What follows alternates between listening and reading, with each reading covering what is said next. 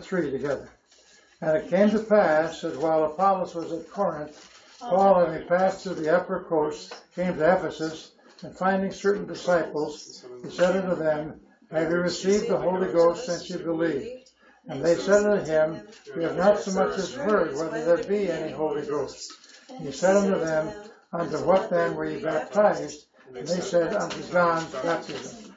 Right, verse 1 came to pass that while Apollos was at Corinth. Chapter 18, what was Apollos doing at Corinth? The last few verses of chapter 18. What was he doing there? Convincing the Jews. Convincing the Jews, preaching. Uh, what was his baptism at first? Under John's baptism, the same as we see a little later in these other verses. And so, uh, And he was, wasn't he being instructed by Aquila and Priscilla? yes, Aquila and Priscilla instructed them the right way, and so he got so straightened out, and then became a, a dynamic preacher of the Word of God, and taught many. And he came to the Lord. Uh, under, he had mightily convinced the Jews in verse 28 of chapter 18, showing that the scripture that the Lord Jesus was the Messiah, the Christ. So then it came to pass, it says, uh, Apollos was still at Corinth. Uh, where did Paul go then? Did he stay at Corinth? No. No. Where did he go? Ephesus. How long was he at Corinth? Ministering. How long? A year and a half. Year and a half. 18 months, year and a half. And by the way, how long do you think he's going to be at Corinth? I mean, at Ephesus. You don't remember. Six months, It's coming down here. What is it? six months. We'll see it later. No, two full years. Um, Two full years. Now, let's go, and we'll get to that. So then verse number two, uh, he, who's the he referred to? Who's that? Who's the he in verse two? Paul, Paul, Paul the apostle. Son of them. Who's them? What people there? the people in Ephesus. People at Ephesus. And he asked a question. What was that important question that he asked them? Receive the Holy Ghost. All right, since you believe.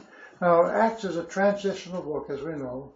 It's between the Acts chapter 2, the baptism of the Holy Spirit, and the completion of the whole New Testament, 90 or 100 AD. So there's transitional things. This is one transitional thing. Uh, what is the current, present, in this dispensation, time in which genuine, true, born again Christians receive the Holy Spirit? When they believe. Oh, on their salvation, that's right, when they believe. As soon as they're saved, the Holy Spirit of God comes within in them, and but uh, he didn't. They didn't know this.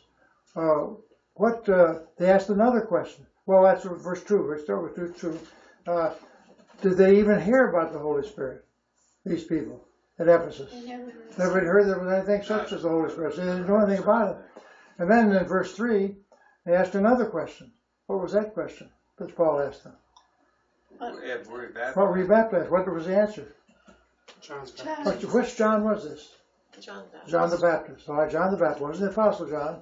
So just like Apollos is baptized in the River Jordan by John's baptism, and John was the forerunner of the Lord Jesus Christ, but it was not different, and so they didn't have proper baptism at that time. Let's read verse number four, five, and six together. Then said Paul, John verily baptized you with the baptism of repentance, saying unto the people that they should believe on him which should come after him, that is, on Christ Jesus. When they heard this, they were baptized in the name of the Lord Jesus. And when Paul had laid his hands upon them, the Holy Ghost came on them, they spake with tongues and prophesied. All right, verse number four. Uh, what did they say about John's baptism? What was the type or purpose of that baptism in verse four? Repentance. repentance. Repentance. And what does repentance mean? Turn Change of mind. Change of mind. Meta nous. Metanoia. Meta is a change. Noia is from nous to mind. Change of mind. And uh, change of mind, other things may change, but a change of mind. So uh, baptism under repentance, they had to change their mind, do a lot of different things. Uh, saying to the people, uh, what did John's ministry tell the people in that verse 4? Very important message. What was his main message he told to them? Believe on it. Believe on whom? Christ. Jesus. Lord Jesus Christ, the one that should come after him. What was the relationship between the Lord Jesus Christ and John the Baptist? He was the Cousins. forerunner. He was a, he was a cousin, all right? He's a forerunner. He was a cousin. What was John's mother's name? Elizabeth. Elizabeth. We've just been reading our reading through the Bible just the other day, so we've been reading about Elizabeth, and so Uh, uh, when did Elizabeth come to visit Mary, the mother of our Lord Jesus Christ? How, That Mary Did Mary visit visit. Elizabeth? Mary come to visit her, I guess that's true. Mary went to visit her, okay. Five months, wasn't it? I think it was about six months, I think. About Three six months months. pregnant I think she was six months with John. That was a miracle, wasn't it? And then uh, with Uh, John? John, John the Baptist, yes, Okay. before he was born. I believe it was six months. Take a look at that in the book of Luke. We've been reading it. I think, as I recall, I may- could be wrong. So uh, they John's baptism, baptism repentance, saying uh, they should believe on him whom they should, should come after him, on the Lord Jesus Christ. Six months. Six months. All right, the six months. like with- with- Gabriel, um, sent from God to a city of Galilee named Nazareth. That Uh-huh. was when, that was when Mary found out. I found out. That's right. So uh, the purpose of John's ministry was to be a forerunner of the Lord Jesus Christ and have people trust genuine faith in him. And then in verse number five, uh, when these people in Ephesus, some of those who are listening, heard this, what, what happened to them? What happened? They were baptized. I'm sure they believed, they trusted the Lord Jesus Christ, and then after that, what happened? They were baptized. baptized in the name of the Lord Jesus. And so uh, this was uh, obedience. Does baptism save people? No. No, it doesn't save people. Do some churches teach that? Yes, baptism regeneration and the sprinkling of little babies. The Roman Catholic Church says what happens according to their theology. Original sin. Original sin is remitted. True or false? False. False. Absolutely false. Absolutely false. Absolutely. Uh, water cannot remove the sin. Must be personal, genuine faith in the Lord Jesus Christ. And then uh, they're baptized in the name of the Lord Jesus. And then in verse seven, number six, what happened at that time? Paul laid hands on them. And hands on them. What happened after he laid hands on these believers, saved, born again The Christians? Holy Spirit came on. Holy Spirit came upon them. Yes, Steve. The purpose of baptism is what? Obedience to the Lord. Obedience? Obedience to the Lord Jesus Christ. As it says in that so-called Great Testimony. Commission, a testimony. It's a sign. Uh, Believing and baptism or, or, or, no, no. No, no, no. Say the baptism is a is a testimony of uh, of obedience to the things of the Lord. Remember the Great Commission: go into all the world and preach the gospel to every creature. He that is baptized, uh, believe in and is baptized shall be saved. So believers' baptism is one of the parts of the Great Commission, and so that's obedience to the things of the Lord. So it doesn't save us; it's just an obedience one. Yeah, Vaughn? It's a picture of the death and burial of Christ. Yes, it's a picture of his death, burial in the water, submersion, and risen to life and Oh, okay. resurrection. See, death, burial, and resurrection. Uh, that's what we believe. We believe baptism by immersion. Uh, baptism means to dip under and to immerse. So uh, then in verse number uh, six, when he laid his hands upon them, they received the Holy Spirit. Uh, when does those, that, this is a transitional book, as we said earlier. Uh, when does the Holy Spirit, again, I ask the same question, come into the person today if they're genuine saved? when they believe. When they believe, trusting the Lord Jesus, that's an instantaneous. And but here, after, and so he laid his, what else happened though in verse number six? They speak in tongues. They spake with other tongues. Now, again, transitional book. Uh, when was the first mention in the New Testament of the speaking in tongues? Chapter two. of Chapter Acts. 2 of Acts, that's right. The day of Pentecost. And what do we believe tongues are? Languages. Languages. Known languages. Mhm. What do the Pentecostal charismatics think that they are? Unknown. Unknown. Just Prayer, gibberish, prayer language. prayer language, and so on, see? But what was the purpose that God gave those special languages in the day of Pentecost? To preach the gospel. Preach the gospel. Who was there at the day of Pentecost? Everybody. From Every- all the Jews. from Jews all from over. all Just from all over the world. And did they know, did these apostles know all the languages of the world? No. No. And if you look at them, they say roughly there are about 12 different languages, many different countries, but about 12 different languages. So there's enough. And how did they hear the gospel in their own language? That's a good question. Because the Holy Spirit gave them utterance. Gave them utterance. The apostles, said they, it says very know clearly language. that that they had a known language, but the miracle, so they were able to hear the gospel in their own language. hmm See, they spoke and these prophets. Exactly. So that's the special gift. Now, uh, that was the first time. Here it is. Uh, they spoke with other tongues. Again, Acts is a transitional book. Uh, is this miracle of speaking in tongues any longer with us today? No. No. When did it cease? At the end of uh, the writing of the Bible. Writing the Bible. Where is a scripture that shows very clearly that's the case?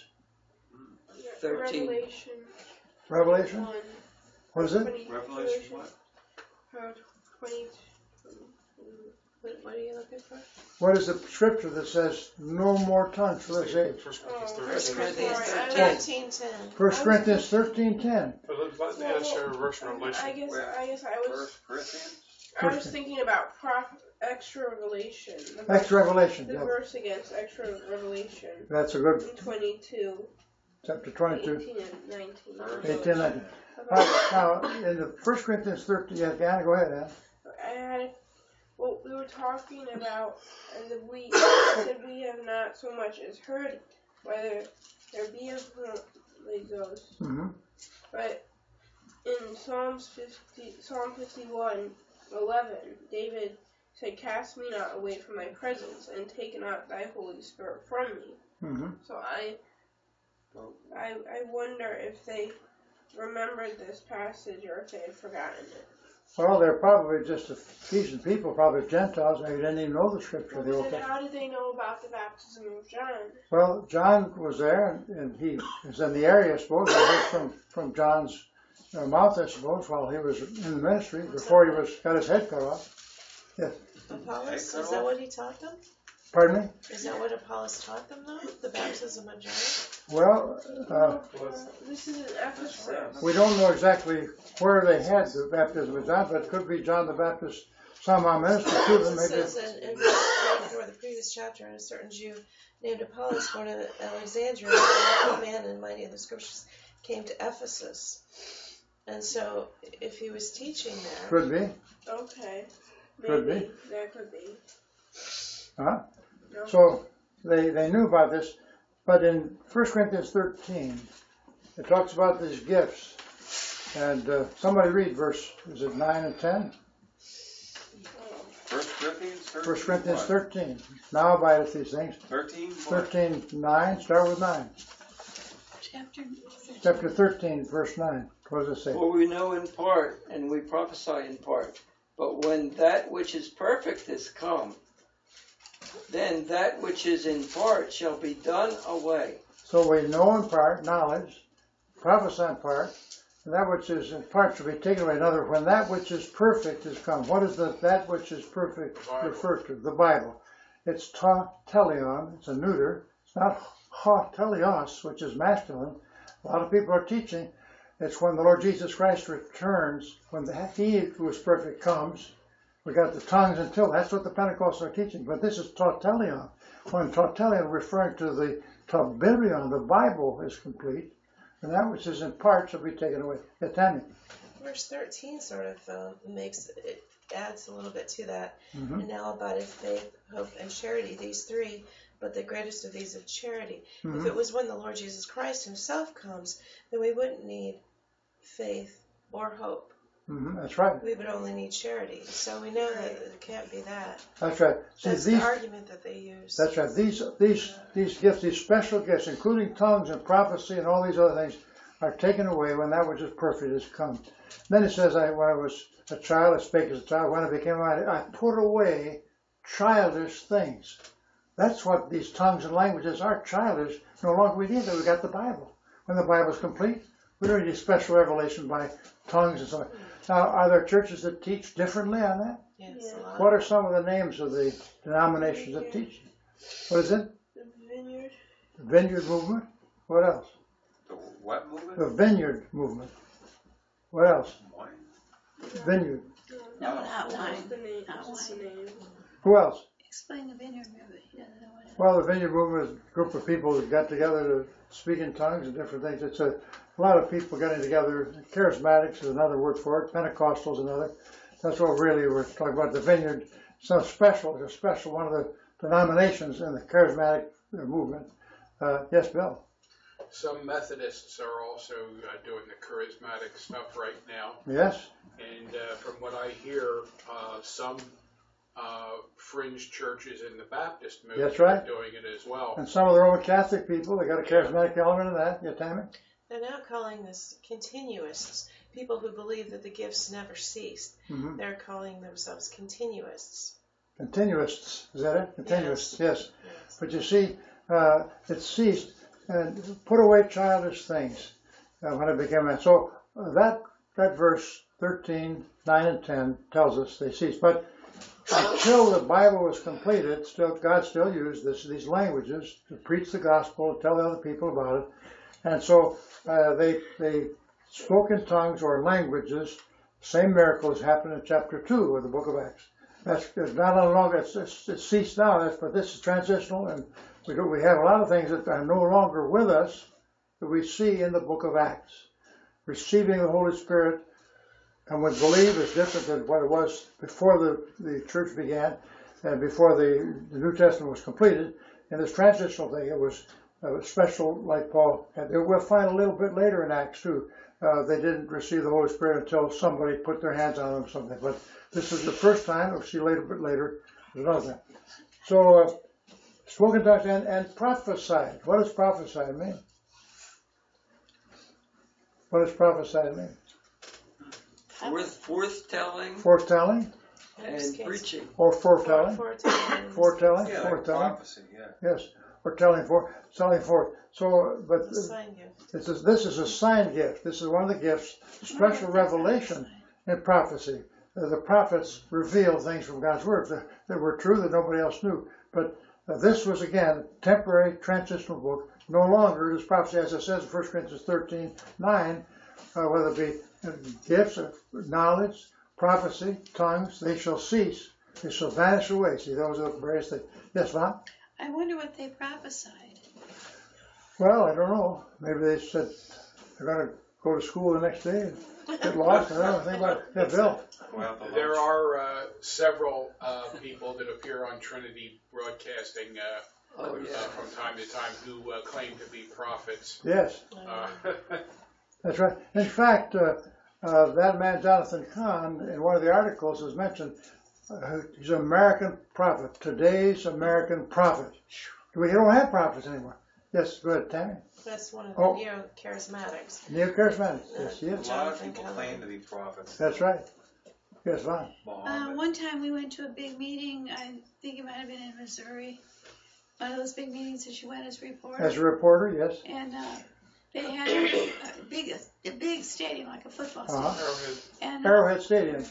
Uh-huh. and uh, up on the platform, some they had some people that were prophets, and they prophesied. Yes, They stood there and prophesied. that's right, right in front of him. And I'm not, su- and some of them did it in tongues, and then they had people translating That, that's right. So that was a charismatic meeting. We had ten as, as reporters, huge gathering.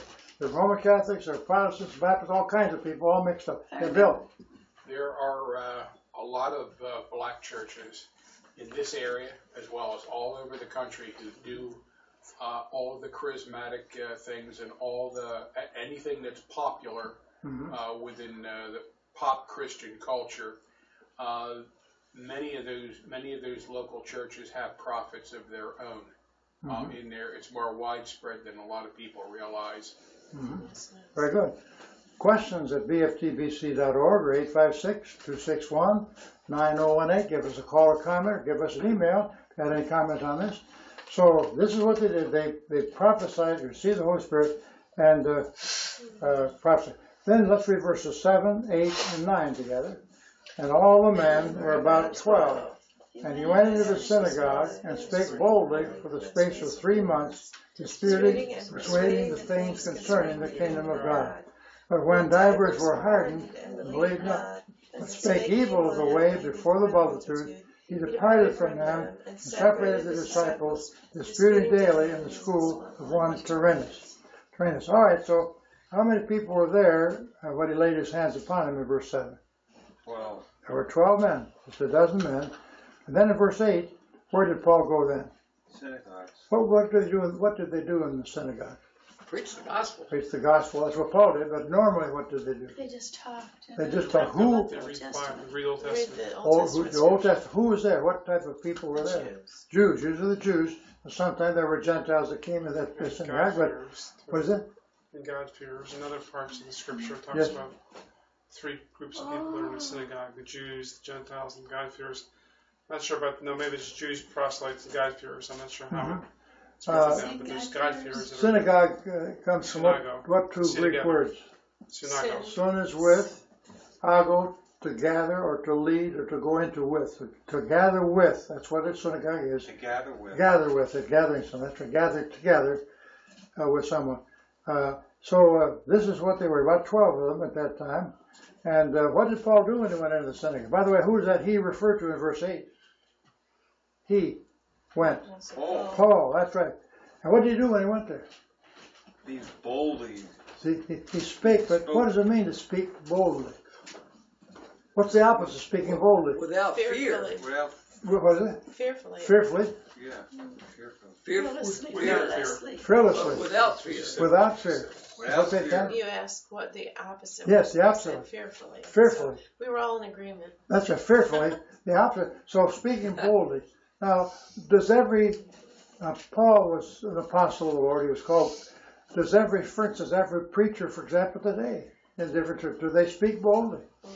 No, a lot of times. Now, sometimes, they- do. sometimes they speak boldly, and sometimes, now just because someone speaks boldly, does that mean they're speaking correctly and scripturally? Oh, no. No, see, they get loud, loud, you know, uh, you look on some of these TV programs, I don't listen to them, but I'm Screaming, sure screaming, yelling. shouting, and yelling, and so on.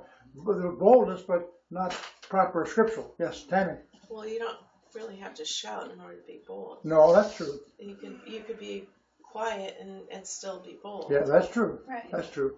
But some are quiet and also bold, but they're quietly wrong. so uh, that's true. Uh, these are things, but he spoke very bold. In other words, he did Paul really believe what he was preaching?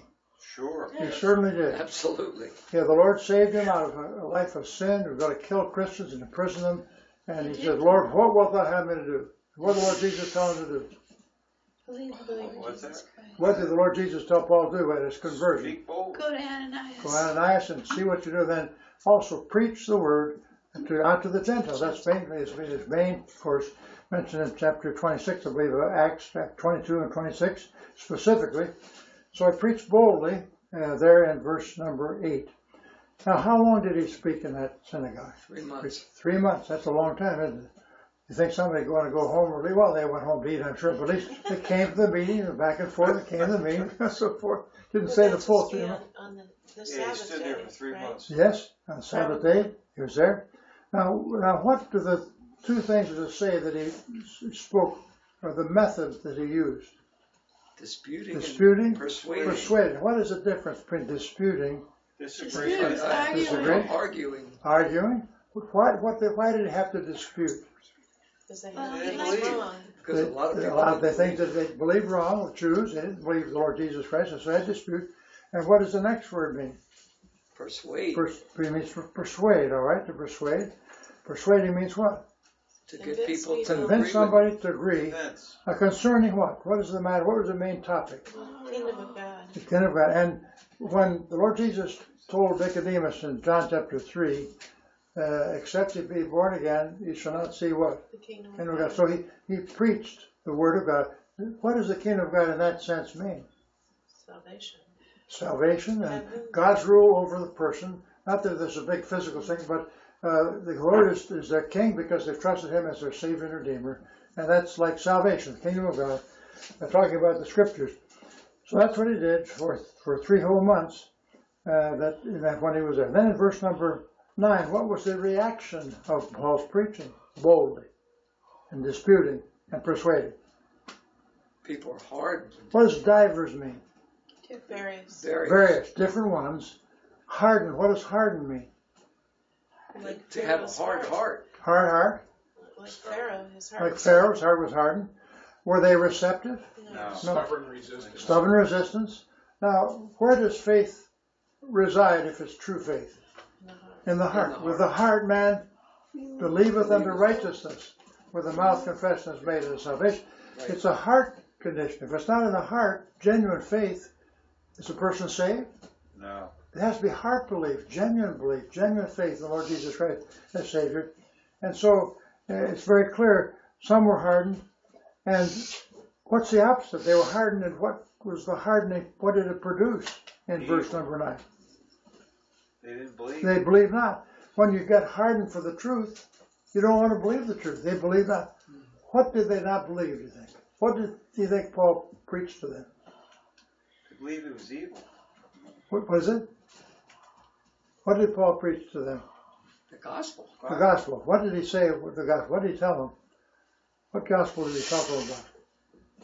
The good news of Jesus, What about the Lord Jesus Christ? that he died on the cross for our sins. For our sins, the sins of the world. And he talked, told them about that, and they were hardened, and they believed not. Believed not the gospel. I'm not ashamed of the gospel of Christ, it says John Romans 1.16. For it is the power of God unto salvation to everyone that believeth, to the Jew first, and also to the Greek. Yeah, Dave? The people at the uh, at, at the uh, uh, car place, Yes. we were all in there, Uh-huh. and I was talking to this group of uh, people that were right, right with me, Mhm. a- and I trying to give them the gospel, and and uh, they were really interested. But Mhm. then I, I took tracks and gave tried to give it to some other people, Mhm. and there were some men there, and they just said, "No, I'm not interested." Like Uh-huh. really, like Yeah. wow. hardened hearts, as these people here, believe it or not. But they, what did they do instead of not believing and being hardened in their hearts? I spoke evil. They spoke evil of what? The way. That way. What way do you think they're talking about? The The way of Jesus salvation. Christ. Way of salvation. Christ. Lord Jesus, John 14, 6, Jesus said unto them, I am the way, the truth, and the life. No man cometh unto the Father but by me.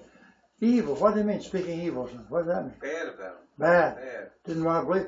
They, they trounced it, they criticized it, they condemned it. It was a horrible thing. See, they just cut it up and threw it out, spit it out. Uh, speak evil the way. Who did they speak evil the way to? Who, who was their audience? The Jews. All right, but what else in verse number nine? Just a few? No, there was the. Uh, Just a few the- people? the Multitude. people. Multitude. What does multitude mean? Different, different groups. whole lot of A people. whole, whole lot of people, hundreds of people. And I so, think there were hundreds there. well, multitude, I don't know. Would, would, would, would we have a multitude here tonight? No. No, okay. See, that, Forty-four thousand. Well, it could be in the hundreds, it could be in the hundreds, it could be uh, a thousand, who knows? But uh, it doesn't say exactly where Paul was in Ephesus when he talked. He's in the synagogue, yes, here, but the school of Tr- the school of Tyrannus, at the end of the verse, yes, right? And spoke uh, that that way. The they eat. See, but we don't know what how many were listening to Paul. But when these people left where Paul was, they went out to the highways and byways of multitudes of people they met. That's the multitude, wasn't necessarily the ones that Paul did.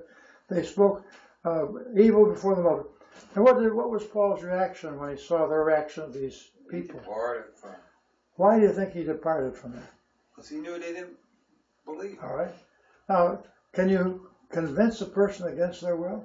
No. No, Can you hit them on the head? Does that make them believe? Oh, it hurt. It could kill them, but it doesn't make them believe. It could knock them out. It just makes them angry. It makes them angry. Anna? They say that a man convinced Big against his will is of the same opinion. opinions. That's a good statement. Wait, what was That's the old proverb. Read that a again. To, man convinced against his will is of the same opinion still.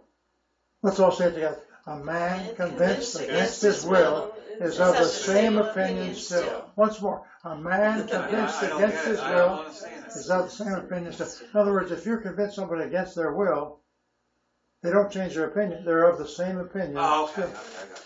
They just, They just go along with you. there's It's always, easier when you say it. What, Anna, Anna, then Dave. It's like the people will say, uh, "Would you like to give me your money?" Uh, and the person says no, and then uh, the person pulls out a gun. Would you like to give me your money? Well, the person still doesn't want to give them their money, Mhm. but they will anyway because They're convinced against their will. But they did give them, anyhow, yeah, Dave. Uh, when I give tracks to people Mhm. like today, and, and, and I always ask them, would you accept this? Would it would it be okay if I give you this? Mhm. And and uh, that way, you know, it's not against their will, No. and, and nobody can say anything That's right. because you ask them, But what would do, you what accept? do some say when you ask No them? way. Uh, What do others say? No, not. What do others say that you give tracks to? Oh, oh, uh, Are there they few that- accepted, and, and they were all reading it. Uh, Good. You know, I, Praise the Lord. Praise the Lord. So Paul uh, departed uh, because they were rejecting the Savior and separated the disciples. Uh, is it what should we do with those that are desperately hardened and believe not the gospel? What should we do? Pray with- for them. Pray for them. What else? Would- Did, Separate from. Paul did right, didn't he? He separated himself. He didn't want. What happens if you don't separate from those whose hearts are hardened and believe not? Argue. We just keep They arguing. argue, they Evil fight. communications corrupt Waste of time. First Corinthians 15, 33. 33. Not 34, but 33. We learned that last Sunday. Let's say it together. Evil Evil communications corrupt good good manners. manners. Actually, be not deceived. Be not Wait, deceived. wait, That's right. Be Say not it deceived. Slower. So, right. Be not deceived. Evil communications corrupt good manners. In that sense, what does communications mean? What does commu- communication mean? Message. Well, Being with normally, people, being with Relationships. relationships. See, mm-hmm. koinonia, it's koinonia, it's fellowship. Those that are relationship. Evil communication means evil associations with people. Evil. What kind of what kind of association would those be? Evil associations. What do that mean? Non-believers? Unbelievers and maybe crooks and thieves and rapists and thugs and all kinds of things. And what happens? What does it mean? Corrupt. Evil communication or association with evil people corrupt good manners. What does it mean? they corrupt? could affect you. They could affect you. Good manners, good life. It can affect your life. Uh, if you Stay away from them. you should stay away from them, separate from them. And first, Second Timothy six fourteen to seventeen one is very clear. Seven one is a very clear scripture. Be not unequally yoked together Yeah, with unbelievers. Jesus said to uh, wipe the, um, uh, I. Plate, wipe the plate clean. Uh, uh, i- Wipe off your if they don't accept, Yeah. the uh, disciples were going, Shake the dust. Shake the off your dust feet off your feet. Yeah, yeah, that's right. the dust So- off their feet. That's right. As a, as a testimony against them. testimony against them. So they departed, and that's good. Now, we can't depart completely from every unsaved person, but what about close association and affiliation? Tight fellowship. Do we have to maintain tight, close fellowship with evil people? No. No, we don't. We don't know what our mailman believes, what our policeman believes, or fireman, whatever, uh, what our grocery person says, where you buy things. But that's just a casual. So you can't, if you were completely separate from every evil person, you'd have to go out of this world because people are all around us. But close association, separate from, because it corrupts good manners, good ethics and standards. What does corrupt mean? Corrupt, Cause to decay. ca- cause a decay. Yeah, Dave? And that was the problem all the way through the Old Testament was that when when they married, intermarried Yes. with other uh, people Mhm. that didn't believe the way they believed, that this was a, a, a sin against right. God, and that's what they were uh, judged for, Yes. I punished think, for. I think one of the scriptures in the Old Testament, learn not the way of the heathen. Learn not the way of the heathen. It's easy to pick up the heathen ways if we're hobnobbing with them all the time. Uh, misery loves company. What does that mean? Misery. That's a good expression. I always hear that. I Company. wanted Jeremiah to go to Egypt with them. I, I was told that to me one time. Is that right? well, there- there's other things, but uh, it's easy to. Is it easier to fall up or fall down? Fall down. Fall Fall down. down. See, anybody Especially could when pick fall up. How do you fall up? You Well, don't. It goes you don't. against the law of gravity. You have to jump. up the See, stairs. it's easy. Yeah, on your ladder. On my ladder. Don't get talk on your about ladder. falling off my ladder. okay. I know. So anyhow, So, I'm telling Yeah, you, that's you very important. It's easy to fall down. in verse 10, uh, verse 9 rather, separated disciples. Now, what does this mean? Again, disputing daily. That's another word, disputing. Where'd that come from before? Where did we see that before? Verse In, eight. uh, Verse 18, verse 8, disputing and persuading. Here, he disputed where? In the school. In the school of Tyrannus. So there, he taught in the school, he disputed with them if they had arguments and questions.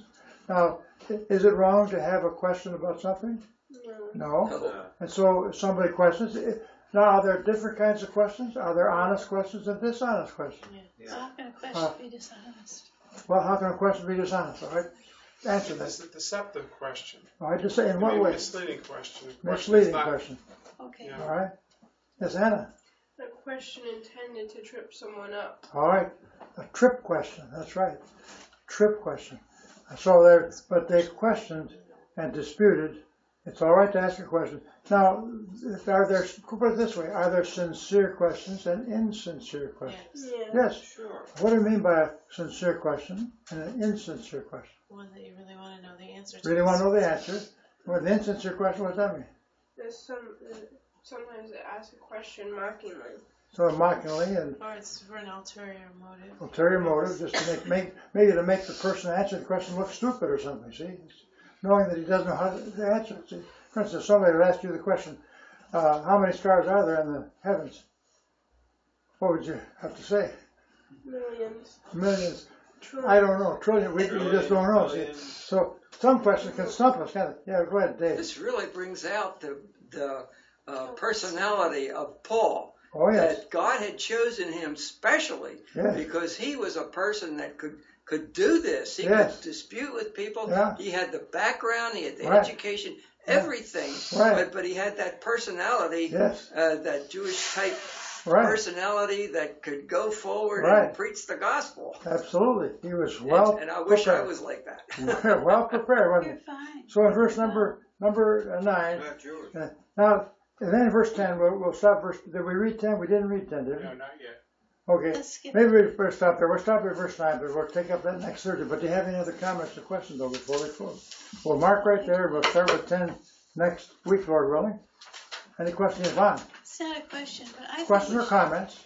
Go It's ahead. nothing to us. Okay. I, I, I've been convicted, we have been praying for the missionaries on Thursday. We should pray for, Uh-huh. for the Mormons, for Pam and David, and for the other ones. Okay. Remind us if you would next Thursday. I We'll pray for pray, I this. thought we could pray in closing, and for the Amy and her husband, hmm but, but we close in prayer. Okay. Well, Brother Dave, lead us a closing word of prayer and pray for our missionary, but he doesn't even know who they are. Just in general, pray for in general. who Pray for general. In general, go right ahead, go ahead. Dear Heavenly Father, we thank Thee so much for this Bible study. Thank Thee so much that we have the whole Word of God Yes. and that we can really study it and, and to know You better and, and to be able to um, be evangelists, uh, proclaimers of the truth of God. And I pray that You would help us to be firm in our faith and to be able to talk to people about Jesus without fear. Yes. And I pray that you would take fear from my heart, Lord, and that I won't be afraid sometimes to be able to speak the gospel. And I pray that you would help us all to do that, that we would be fervent in spirit serving the Lord. And I pray that you would guide us and direct us. And we thank thee so much for this Bible study, uh, that it, it refer, uh, makes us firm in our faith uh, and help us to go forward for you. And I pray that you would bless our missionaries that are proclaiming your truth. And I pray that you would give them the boldness to go forward for you and to proclaim the gospel and, and to build up the churches and to teach people what the Bible really says.